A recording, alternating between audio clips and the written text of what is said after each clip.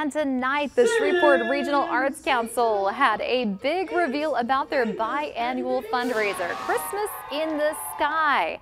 And this year, leaders say the event's theme is sensational. The next edition of the event will have a chance to enjoy a bit of a Vegas-style nightlife. And Sky Chairman Heidi Kallenberg says the preparation for the worldwide crowd requires a lot of volunteers to help the event run smoothly. It takes months to work on this event. It really takes two years to build this event. And again, as I said, it's a community event. So we have hundreds and hundreds of volunteers. We welcome everybody.